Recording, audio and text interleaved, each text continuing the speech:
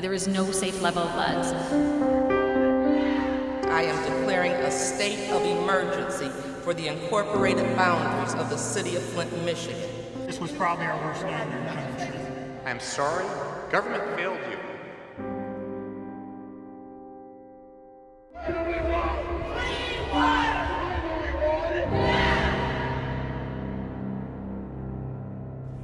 For two years, the people of Flint have been lied to, mistreated, and stripped of one of their most basic human needs. On April 25, 2014, an emergency manager allowed water from the Flint River to flow through the maze of pipes underneath the city. In the beginning, the people were told the water was safe and they continued to use it to cook, clean, and drink. Soon after, it was deemed unsafe for human consumption, all the while never changing in quality. Two years after the switch, the water is still unsafe and there is still no solution in sight. I'm Trace Clinton. And I'm Jordan Bruns.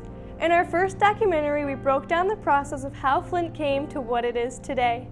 After its release, the story unfolded further, including the release of government emails, scandals, and increased support from people around the world. The Flint water crisis exploded within the media, leading to attention from the nation and the government. That attention led to action from all parties protests and lawsuits from the people, investigations from the government, and firings and changes in staff among individual departments. But holding the spotlight for the longest has been the possible link between the Flint River water and the 12 deaths from the waterborne illness Legionnaire's disease. Fingers have been pointed in all directions, but all the while, blame is being assigned. People are still fighting every day just to find water to drink. It's important to remember that the reason people have been suffering for the last two years was based on a single decision that was meant to save money. Jordan Hancock will recap on the past two years. Flint's economy was at an all time high, but people began leaving and taking their money elsewhere, which sent the city into a downward spiral of financial distress. With millions in debt, the state appointed an emergency manager. To cut costs, a decision was made to switch from the Detroit water to a more self sufficient form of getting water to the city, the KWA pipeline. As a temporary water source, the Flint River added on a new heap of disaster. This was March of 2014. Starting September of that same year, problems began to arise because of the switch to the river water, starting with a boil water advisory and ending with the presence of lead. Michigan DEQ did not have a corrosion control plan that would have stopped most of the water contamination. The people were outraged and felt helpless. Literally, I could tell the day that the switchover hit my pipes because the moment that I took a shower, it would switch about every two days. One day it would smell like straight river water, and the very next day it would smell like you were swimming in a swimming pool. Finally, in October of 2015, Flint's Mayor Dayne Walling announced the switch back to Detroit Water, but that didn't stop the problem. It's going to take time for the Detroit Water to move through the system, for our pipes to be healed, uh, for our families and our children who have been affected to be healed. E. coli, a bacteria found in water, was feared to be in the Flint water. To prevent any outbreaks, the city went to great measures to disinfect the water. TTHM, a byproduct of chlorine disinfecting of the Flint water, was found in alarming levels. Notices were sent out claiming that this was not at all an emergency. However, those with compromised immune systems were at risk for liver, kidney, and nerve damage. Lead in the pipes reacting with the corrosive chemicals in the water put traces of lead in the water. This causes many health risks for all ages, and the length of time a person is exposed to the lead determines how badly they experience the effects. You don't know um, when your child has lead poisoning. They're not usually going to complain of a headache or a bellyache, or uh, they're going to have overt behavioral issues. Um, so when we screen for lead at the ages of one and two, usually we don't know. We don't know that they have lead poisoning, so they don't present with symptoms. So that's why we have to be vigilant and do the screening and be aware. The residents of Flint did not have safe drinking water. Children broke out in rashes when bathed. Cooking was done with bottled water, and the bills were piling up for toxic water. It's been two years, and the water is still affecting the people today. Flint is left with toxic, undrinkable water. For months after the switch, nobody really knew the problems with the water. It all started with LeeAnne Walters, a mother of four, who recognized the danger. Making sure that people get the help that they need. That's still not happening here on the ground, and that is what is needed the most making sure that people are getting bottled water. There's a failure to make sure the shut-ins and the disabled and the homebound are getting the water in an appropriate amount of time.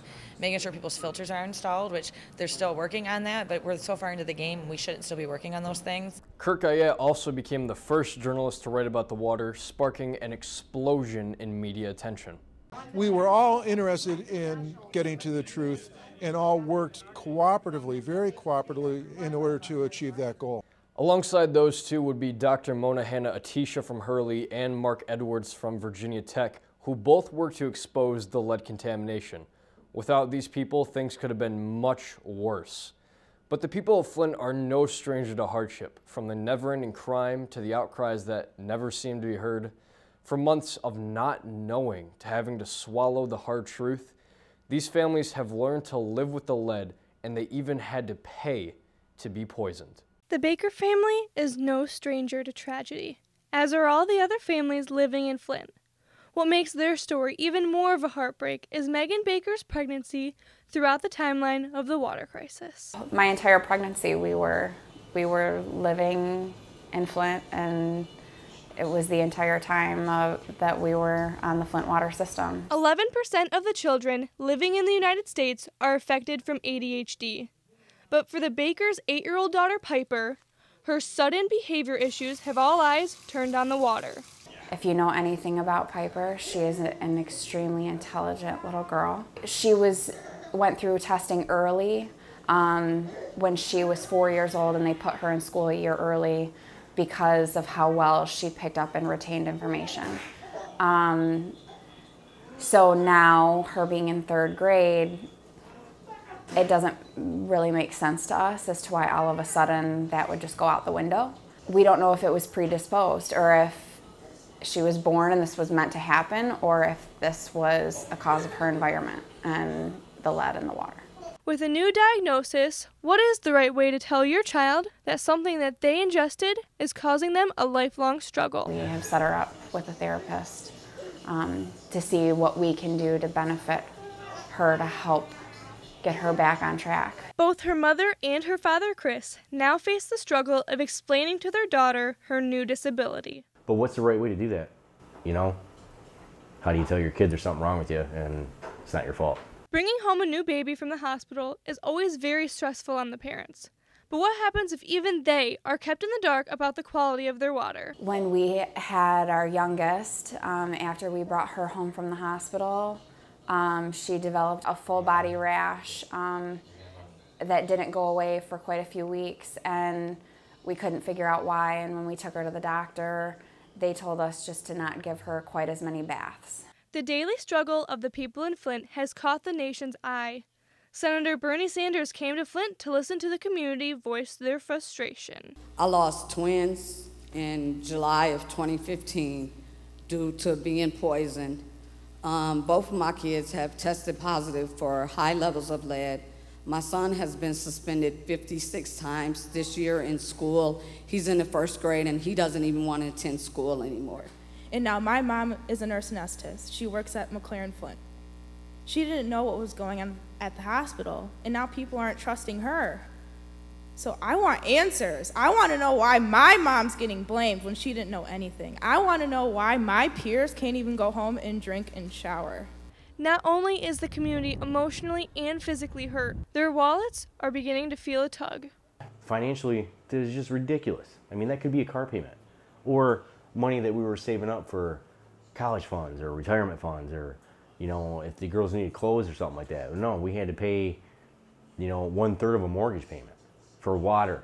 It's ridiculous. To think that we were causing more damage to our children.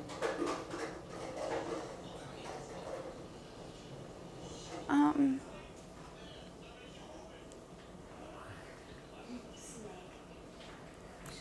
but really, the, the biggest and scariest thing is just not knowing. For almost two years, Flint families have had to deal with the unimaginable. All they want is the answer and the answer is just one of the many things they can't get. The struggle wasn't just dealing with the lead. Next comes the testing. Endless pokes and prodding, results that take weeks to come back. Not knowing when the next water pickup is, and wondering if that filter needed to be changed. Restless nights wishing for less confusion. The system for getting tested was error prone, and sometimes it was just ineffective. Haley Garrett has more on the lead testing process. Testing the water in people's homes is what revealed everything Worried families like LeeAnne Walters demanded that the city test their water to figure out what was going on. Eventually, after her cries for help were not heard, she took matters into her own hands with the help of Virginia Tech. My average was 2,500 parts per billion. My highest was 13,500 parts per billion. Hazardous waste is 5,000. The government eventually set out officials to test the water. However, many guidelines were not followed. Therefore, the results were much lower than the reality and inaccurate. You remove the aerator the night before sampling, clean the lead out, so when you measure the lead the next day, the lead in water looks lower than it normally is. EPA wrote a memo that essentially banned that protocol.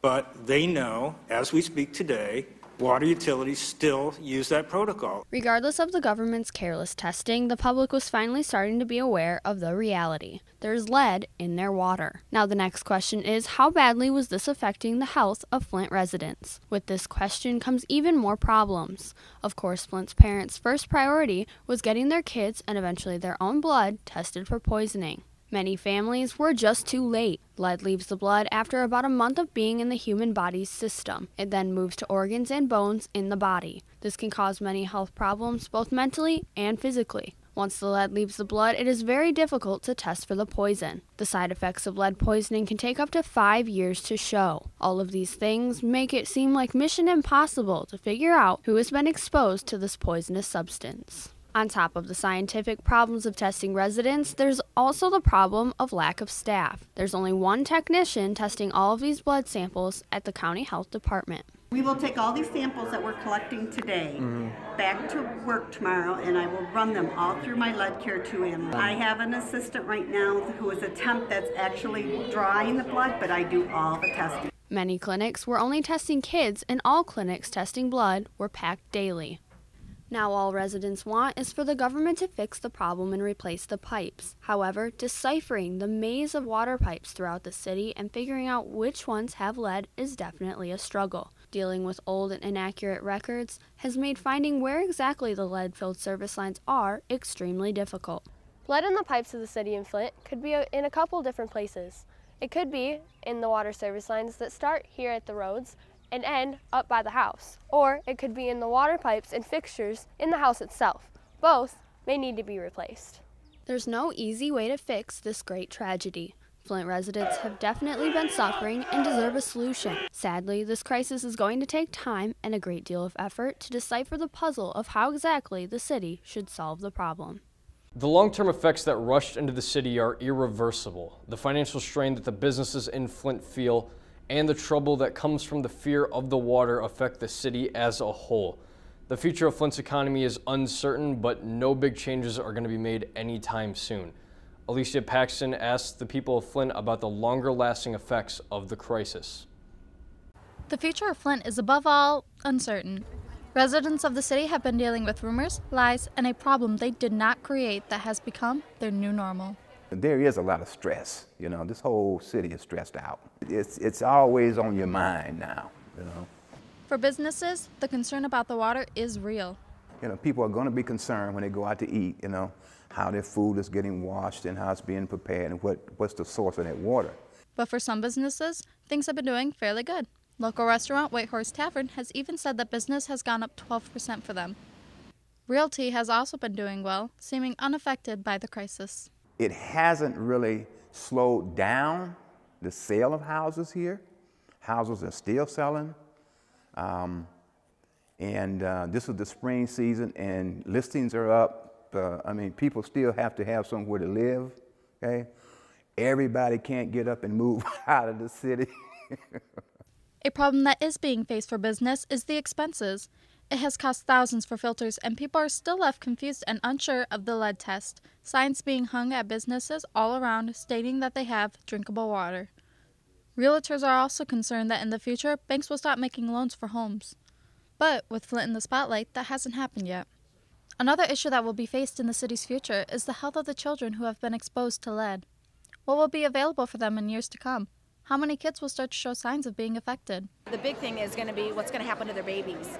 You know, what's going to happen to their children that have been drinking this water for the last year, eating it in formula, um, that have been bathing their kids in it. I've had students that have babies that have had sores on their skin and lesions and health issues. So I don't know what's going to happen. That's my biggest concern is how are we going to prepare to take care of kids that have permanent brain damage from lead poisoning. These are extraordinary, uh, you know, circumstances.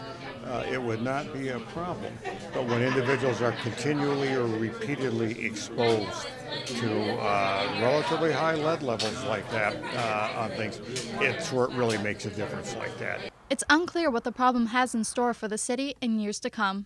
This is a long term problem that needs a long term fix. This is a problem of forever. People still have hope for the future. Solutions are slowly being found, the 30 day plan being put in place by the mayor, and the governor's most recent plan for a long term solution. EPA coming out with tests showing the lead levels are indeed going down. No one knows if residents will ever put their full trust in the government again. Only time will tell.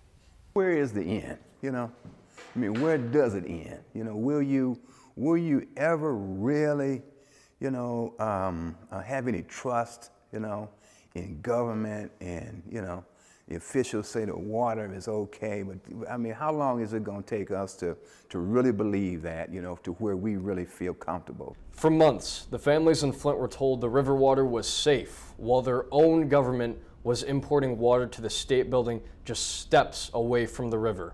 Another misconception is that the river is actually the problem.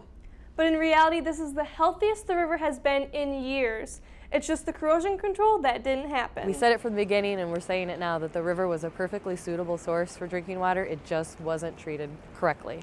During the course of the Flint water crisis, there has been a lot of finger pointing and name blaming. Most able to testify for themselves, but in this case, one of the few blamed isn't even human. The Flint River, which is roughly 78 miles long, was the go to when the emergency manager decided to switch off the Detroit Water and Sewage Department. The history of the Flint River gives it a bad rap, but according to Rebecca Fedewa from the Flint River Watershed Coalition, the river has new life. Specifically, we look at are what are called benthic macroinvertebrates, and so the, that's just a fancy way of talking about the bugs and insects that live on the, um, the rocks and the leaves and the branches in the river. There are some species that are really tolerant to pollution, and there are some species that are really intolerant to pollution. And if we find a broad array of those species, so lots of biodiversity, then we know that the water quality in that stretch of the river is good and the habitat there is equally good because they need both. You need good quality water and you need really solid habitat. Not only is the water quality improving, but the habitat is as well. In the past, industries lined the stretch of river from Flint all the way up to Saginaw. The most well known industries on the river were GM and DuPont. But there also was a battery plant, paint manufacturer, coal gasification plant, and the production of soldering materials for GM cars. Regardless of all the past pollution that plagued the river, from industry or from natural causes, the river is actually the healthiest it's ever been.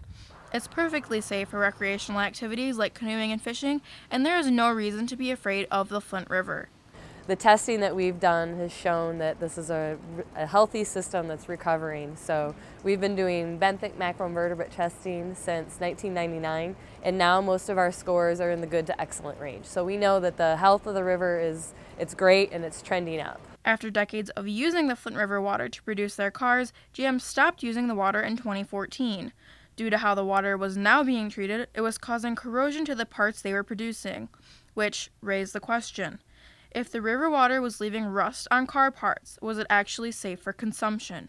The problem was the treatment of the water, or the lack thereof, and then the lack of response from all government agencies, from local all the way up to federal, uh, to, to ensure that safe drinking water was being delivered to area residents. Uh, but the water itself, and um, our, our friend from Virginia Tech is saying it now as well. The water itself was perfectly treatable water. Originally, the state response to the water crisis was quite slow until Rick Snyder, the governor of Michigan, announced that the state was at fault for what happened to Flint and said that he was taking responsibility for the crisis. Since then, Snyder has worked to fix the problem and send help, like the National Guard, into the community. Bailey Talaska has more on the state's response to the Flint water crisis the state dragged its feet for seven months. For that reason, the state of Michigan's government is taking the most heat for the Flint crisis. Governor Snyder is being put in the hot seat for the problems in Flint because of how long it took him to respond. We want Governor Snyder to take accountability, stop lying. Snyder downplayed the problems in Flint for a long time and had no choice but to get in the middle of the action at the beginning of this year when the media blew up the crisis. High lead levels and the growing amount of cases in Legionnaires was known by the state before it became public. The MDEQ's job is to prevent problems like Flint's from happening. It's a memo from the Michigan Department of Environmental Quality to the Department, uh, uh, the, um, the EPA, saying that, and this is dated February 27 of 2015, almost a year ago, indicating that Flint has an optimized corrosion control program. They did not. And the MDEQ admits that they dropped the ball. So during the process in our conversations with the, with the local water treatment plant, with the uh, Environmental Protection Agency and the DEQ, we forgot that the outcome was clean drinking water. Now both the governor and MDEQ have apologized and are taking actions to fix Flint. I am sorry and I will fix it. No citizen of this great state should endure this kind of catastrophe. In March 2016, the state finally released a long term plan for Flint. It includes getting more kids tested for lead poisoning and making sure all people have access to fresh food. He is also working closely with Flint's mayor on replacing all the lead pipes in Flint and getting the people of Flint jobs and their kids a good education. But many feel like Snyder's actions are too little, too late. I think the people of Michigan expected truth, transparency, and accountability. The governor failed th- that tonight. In addition to this new plan, the state has also been working on getting funding for Flint. Starting at the State of the State, Snyder gave $28 million to go towards helping Flint and was working on getting much more, including 37 million to work towards safe drinking water, and the state got 30 million to go towards helping the people of Flint with a portion of their future water bills, and senators asked for 232 million with an additional 195 million, which have yet to see Flint. The majority of the state response only came after months of screaming citizens, independent lead testing, and an explosion of media attention. News outlets around the country rushed to Flint when they realized what was happening to the city. It wasn't long before the power of the media brought more than just worldwide attention. Suleiman Martarwe has the story. For two years, the people's voices of Flint were crying out for someone to pay attention. Eventually, it happened. This all happened around the fall of 2015 once they announced lead was in the water. The national news coverage had started ramping up at that point. Major networks from around the world started to arrive. People like Rachel Maddow recognized the severity of the water problems and brought her show to Flint. One is that I feel like the people of Flint haven't gotten enough respect and uh, credit for having brought the nation's attention to what was going on here. The only reason that I cover this on my national news show is because the people of Flint screamed their bloody heads off in order to get attention to this, and I feel like they need credit and they need respect and support for having done that. Political activists showed up, like Reverend Jesse Jackson, who came to Flint multiple times and then led a march. Michael Moore also came, hoping to have Governor Snyder arrested and for President Obama to visit Flint. This, this town voted twice for President Obama and has asked nothing. We need, we need the President of the United States help. President Obama never came down to Flint, but he was only 60 miles away in Detroit at the height of the crisis. Michigan for a special CNN Democratic presidential debate. I'm Anderson Cooper. I want to welcome our viewers in the United States and around the world. Although the president did not come down to Flint, but the presidential hopefuls did, hosting a debate at the Whiting Auditorium. Other celebrities have helped pitch in into the crisis, such as Eminem, Madonna, Jimmy Fallon, George Lopez, and Snoop Dogg. Other companies such as Detroit Pistons have pledged 25 million, and including Pepsi and Coca-Cola have teamed up along with Meijer and Walmart. Now that people around the globe know about the problem, doesn't mean that it's fixed. The world is now yelling at our governor and our president to step in and help and do the right thing by us, and it's still not happening. I wanted the people of Flint to be on national TV demonstrating that they're living out of bottled water. The band aid doesn't even work that well, but the problem's not getting fixed, and I felt like we needed to come here to show that. No, no, Flint is not alone. I'm here to tell you that Flint is not alone. People didn't know about it. People weren't here. You know, I was off for a year around the world making my movie. I came back to hear about this, and I just couldn't believe it. So, um, you know, don't don't despair. More and more celebrities are helping Flint each day by donating money or water. Some schools even held water drives to help residents and schools in the Flint district. Due to all of the coverage, the federal government began talks about aiding Flint. Many people are beginning to ask for a change in the lead and copper rule. It has been shown that the rule was part of the reason for the crisis. Savannah Rowe and Robin Porter have more on what the federal government is and isn't doing about the crisis. The federal response to the Flint water crisis started off slow, but it picked up when the president came to Detroit on January 16th. And I know that if I was a parent up there, I would be beside myself that my kid's health could be at risk. That same day, the president declared a state of emergency in Flint. When he did, it freed up $5 million in federal aid for the city.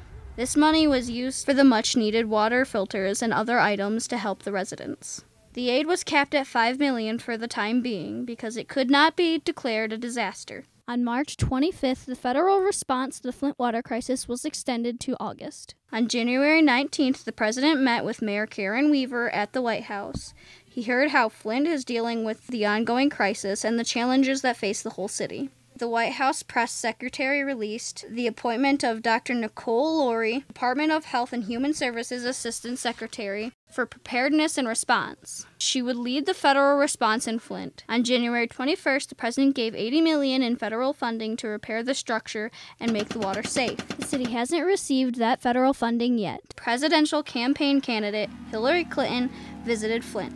In her speech, she sympathized with the families she talked about supporting the city through the crisis. I will not for one minute forget about you or forget about your children. I will do everything I can to help you get back up. Like Hillary, Bernie Sanders visited Flint. Bernie held a town hall meeting to see what was going on. And to hear what is happening to the children in this community is so horrific, it is so painful, it is almost hard to discuss.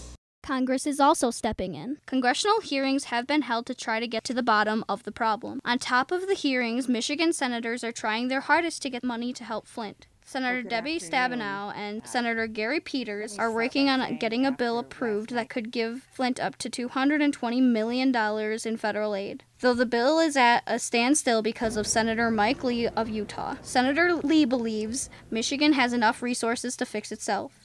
Another thing Congress did was visit the city of Flint and see just how the residents were living during this crisis. Congressman Dan Kildee and 25 of his co-workers came to Flint. The thing that I've been most impressed about is the what the federal people have done.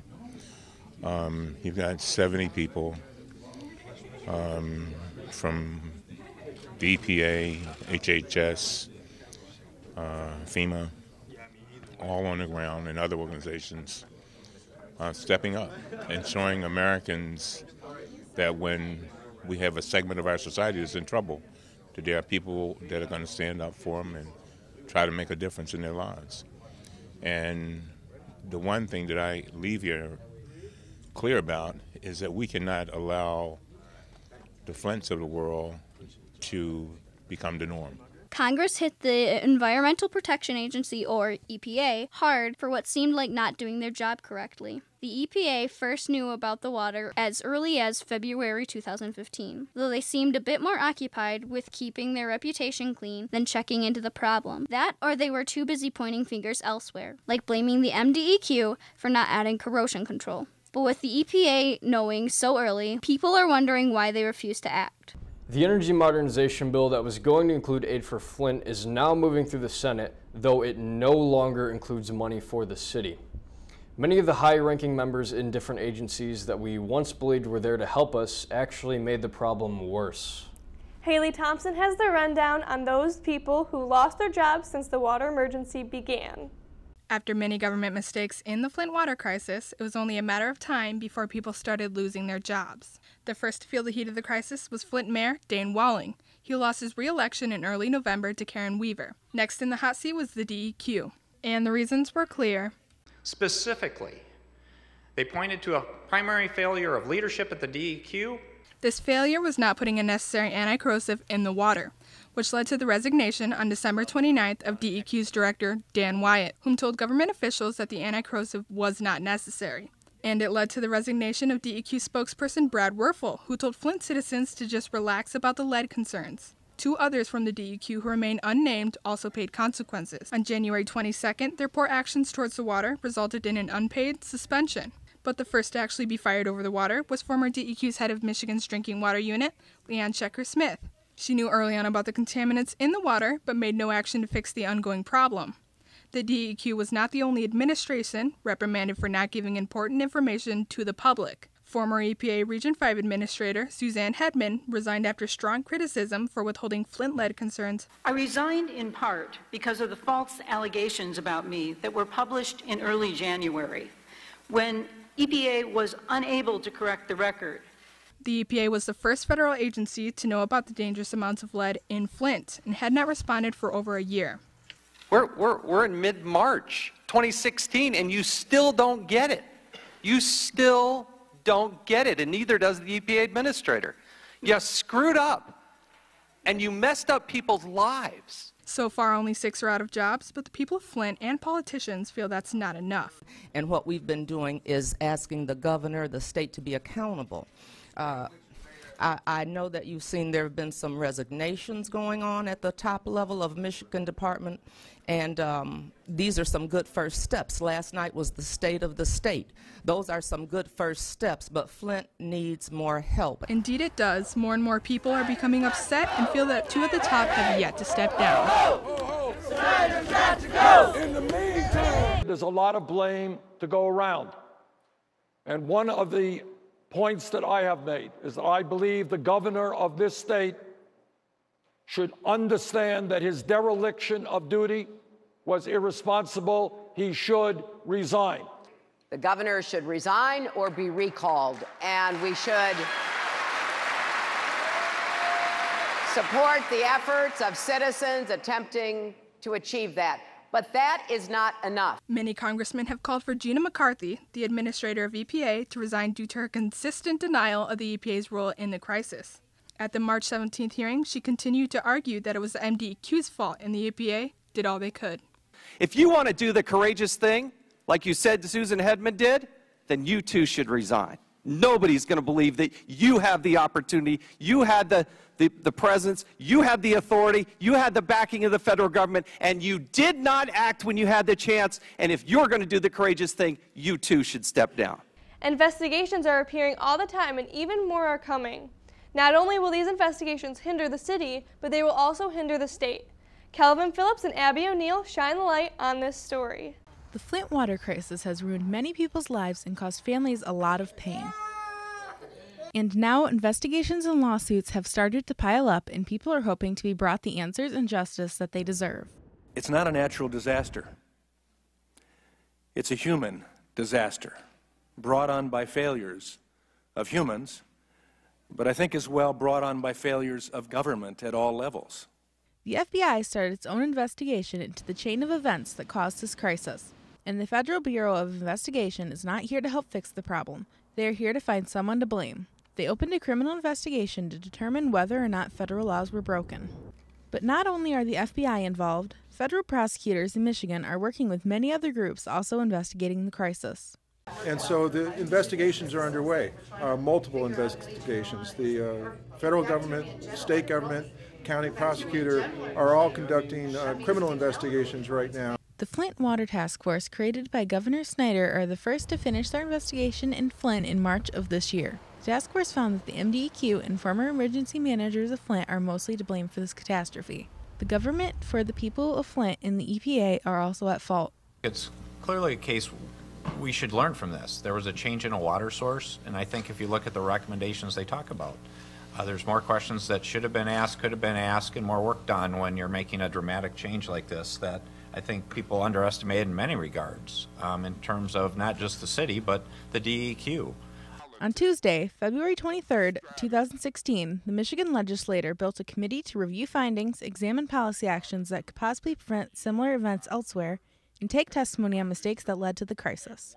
Senator Jim Ananich, one of the vice chairs, was not happy that it does not have a subpoena power and openly called it an investigation. This should have happened much sooner. In addition to the other investigations, the EPA was auditing or examining how Michigan enforces drinking water rules and said it would identify how to strengthen the state.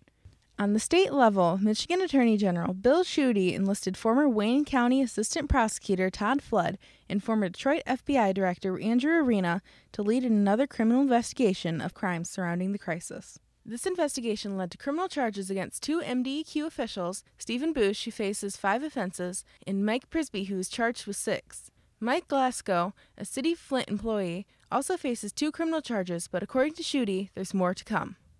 A congressional hearing was held on February 3rd of 2016 for the biggest investigation looking into the Flint water crisis. The first round of hearings saw the testimonies of many, but were missing key players, including the governor of Michigan, who was not called to attend. The problem is that today we are missing the most critical witness of all, the governor of the state of Michigan, Rick Snyder. And the Midwest's former Region 5 administrator of the EPA, Susan Hedman. Darnell Earley, the former emergency manager of Flint, was also called to attend but failed to do so. On Tuesday, I issued a subpoena. His attorney refused service. We're calling on the U.S. Marshals to hunt him down and give him that, give him that subpoena. After so much pressure, they all showed up for the second round of hearings on March 15th and 17th. And another investigation was announced on March 11th, 2016, which is being led by the governor himself, Rick Snyder. He called for an immediate full joint investigation into how the Michigan Department of Health and Human Services handled the public health problems in Flint. In addition to all of the investigations going on, there have been many lawsuits filed, and most are class action lawsuits. Class action lawsuits are lawsuits that allow a large number of people with a common interest in a matter to sue or be sued as a group. Flint residents filed a class action lawsuit on behalf of victims of high lead levels against Governor Snyder, the state of Michigan, the city of Flint, and other city and state officials in November of 2015.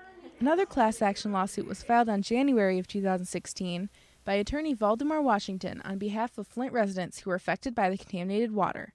Its complaints are gross negligence by the city and state officials for allowing corrosive water to come into the city and claims that the officials knew that the water was toxic and unsafe. And what we need to care about is safe drinking water. And attorney Geoffrey Fieger joined the mix in February 2016 filing a class action lawsuit against McLaren Hospital on behalf of residents who contracted Legionnaire's disease. He alleged that the Flint Hospital knew about the Legionella bacteria in the water for months, while patients were exposed to it and many got the illness.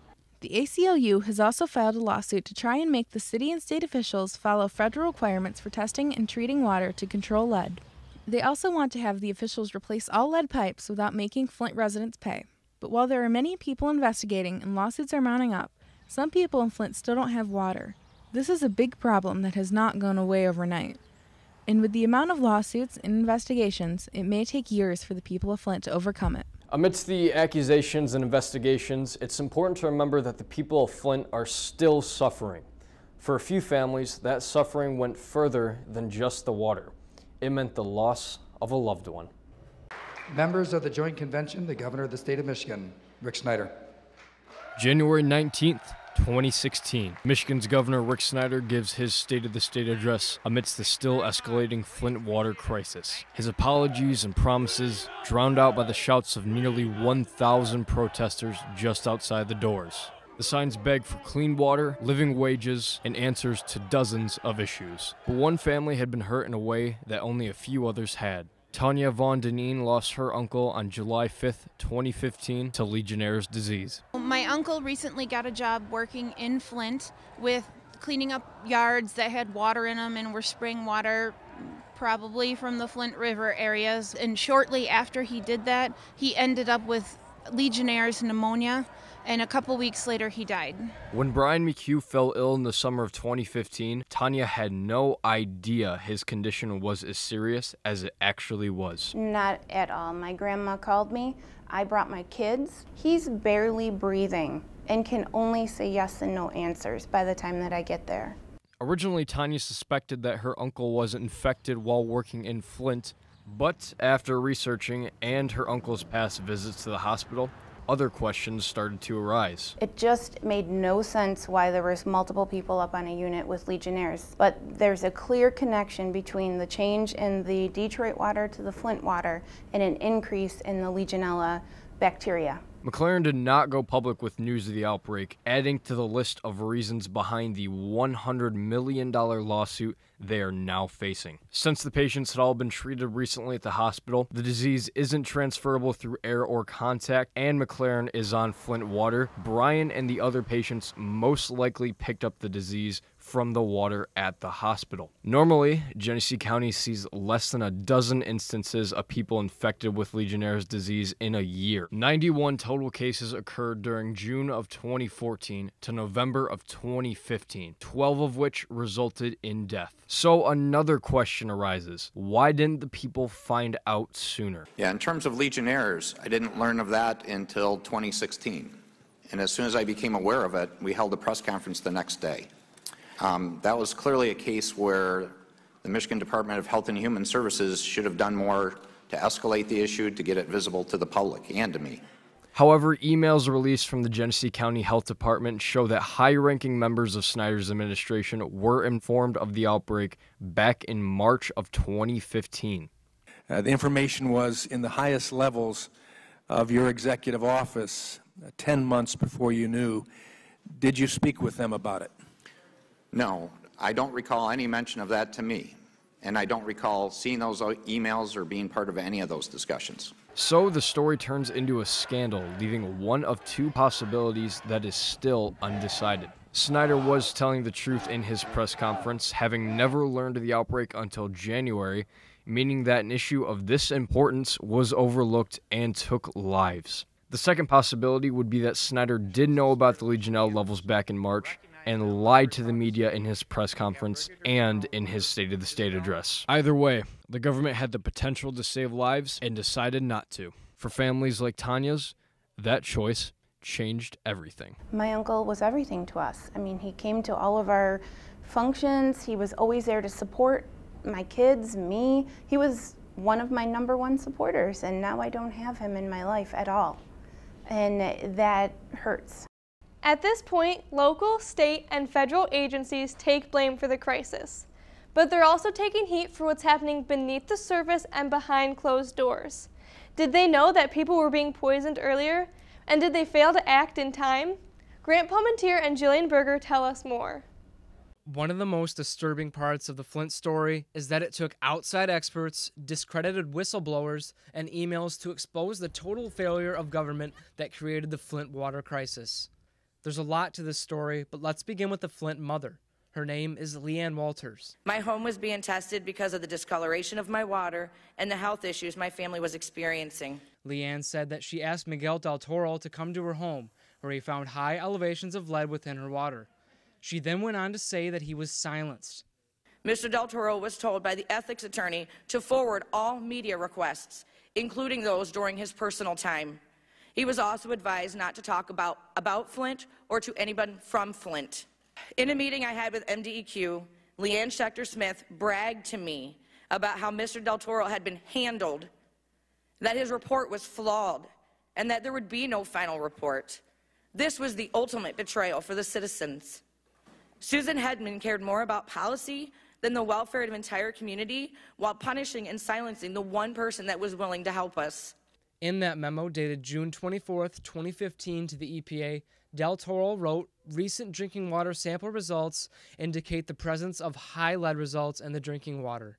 The lack of any treatment for lead is of serious concern for residents that live in homes with lead service lines or partial lead service lines, which are common throughout the city of Flint. The MDEQ did everything to discredit Del Toro's claims. Their spokesman Brad Wurfel said anyone who's concerned about lead in the drinking water in Flint can relax, and then labeled him as a rogue employee. This is a guy who wasn't allowed to travel. He suddenly had to go to ethics training.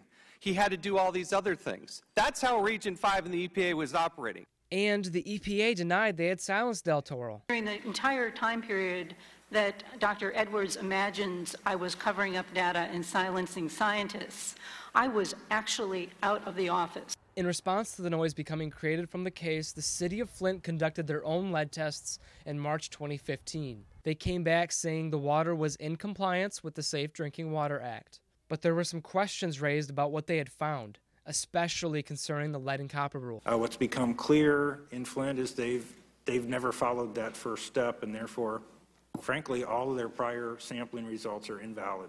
Other concerns raised about the initial testing were the city only collected 71 results when they needed 100 for a city of 100,000. Then, the state officials threw out two test results that pushed lead results under the 15 parts per billion requirement. And on top of all this, testers were flushing the water lines before taking test samples. The fact that they hid the contamination and the fact that the lead was spiking in 2014 and they didn't tell anybody, and it was through their own tests that they found it. While the city was at fault, the EPA has seen just as much of the blame towards covering Flint up. The EPA not only had silenced Del Toro, but they are at fault for not acting sooner with well known knowledge. But the EPA continued to push blame on the MDEQ and Snyder's officials, leading to back and forth finger pointing. The crisis that we are seeing is a result of a state appointed emergency manager deciding that that city would stop purchasing treated water that, had, that it had been successfully relying on for 50 years. At the State of the State address on January 19, 2016, Governor Snyder announced he'd release emails from his staff between 2014 and 2015. Since Michigan is one of only two states where the governor is exempt from FOIA laws, they were released voluntarily. About a month later, the governor's office released a second batch of emails from 2011 to 2016. In these emails is where it gets even worse. It's Michael Gadola. He wrote an email on October 14th, 2014, stating, and I quote, the notion that I would be getting my drinking water from the Flint River is downright scary.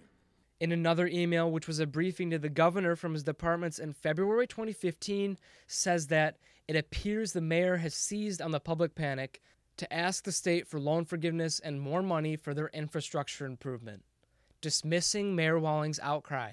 The briefing finishes with Once the city connects to the KWA system in 2016, this issue will fade in the rear view. In another email from Chris Kelenske of the Michigan State Troopers says as you know, the governor can declare at any time for any reason, meaning Snyder could have declared a state of emergency much sooner than he actually did, no matter if the city did or not.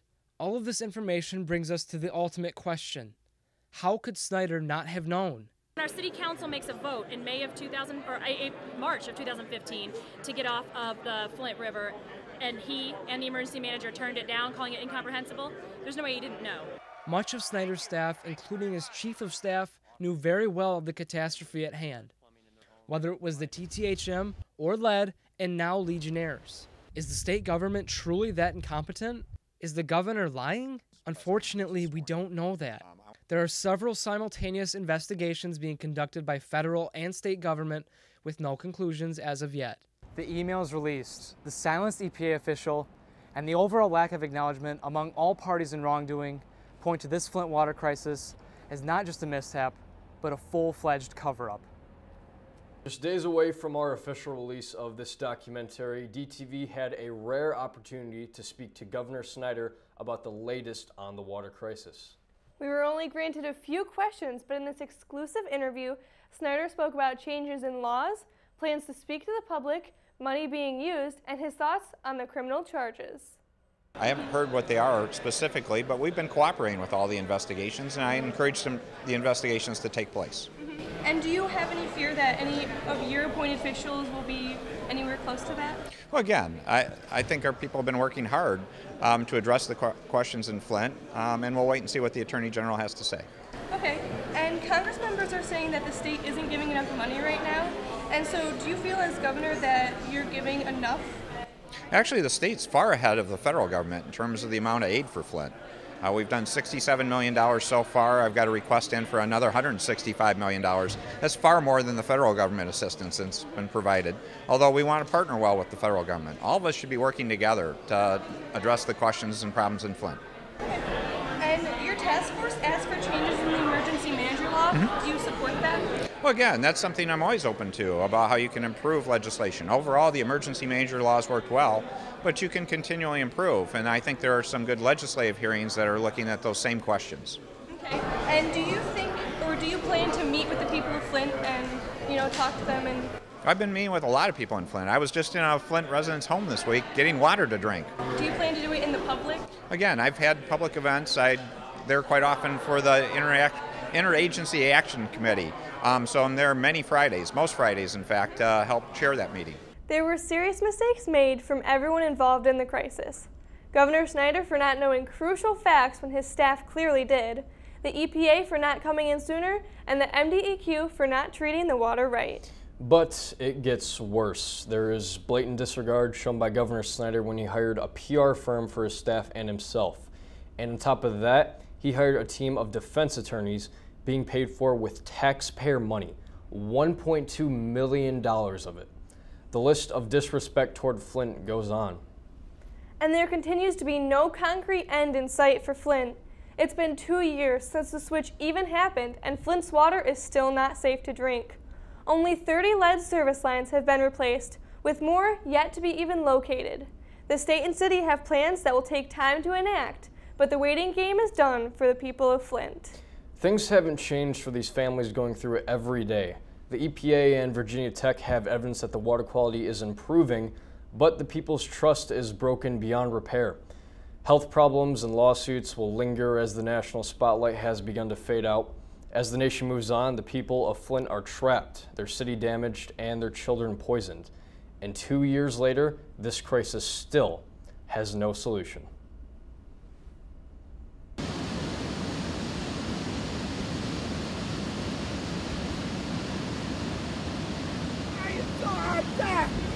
Our kids laid! Our babies got laid!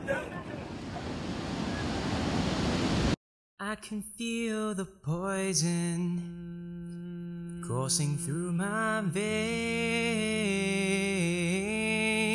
With no end in sight, how can we survive when there's lead in the pipes? We're already dead inside.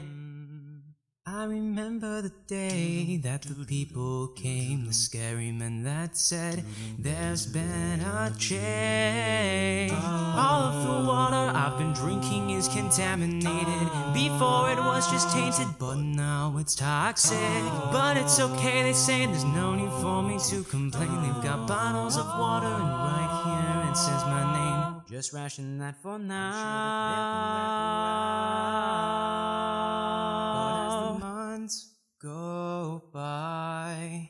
It seems that I am running out of time. And these fears start coming true. What am I supposed to do? What am I supposed to do? I can feel the poison coursing through my veins with no end in sight. How can we survive when there's lead in the pipes? We're already you can dead feel inside. If a belly touches your skin as, the people sing to the corrupt king, cause there's lead in the pipes. We're already dead inside. How can this be? Why can't you see? There's people in these homes, they're human beings. At least now we know what little you plan to do. At least now we know the children are expendable too. At least now we know how much we mean to you. For 15 years. For 15 years, for 15 years. I'm a fire doctor! I'm a fire doctor! Our babies got lead in them! Our baby's got lead in them.